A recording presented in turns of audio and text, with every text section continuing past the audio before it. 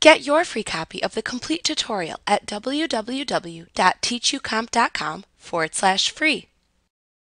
List box controls are very much like combo box controls as they also let you create a list of choices from which your users can choose to enter or change a field's value. The difference between a combo box and a list box is that the combo box only shows its choices when a user clicks the drop-down arrow in the combo box. In a list box, the choices are constantly shown, and whichever choice is highlighted in the list is the selected value. Because of this, list boxes tend to take up more space within a form than combo boxes do. To insert a list box control, open the form in Design View and then click the List Box button that appears in the Controls button group on the Design tab of the Form Design Tools Contextual tab within the ribbon. Then click and drag over the area within the form where you want to place the list box.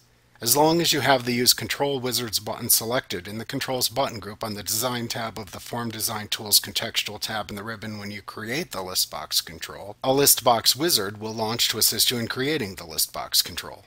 Simply answer the questions posed to you in the wizard for each screen and click the Next button until the last screen.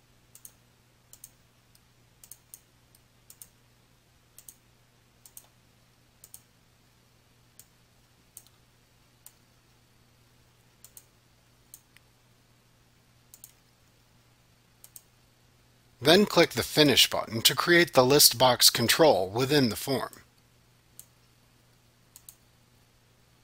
Like what you see? Pick up your free copy of the complete tutorial at www.teachucomp.com forward slash free.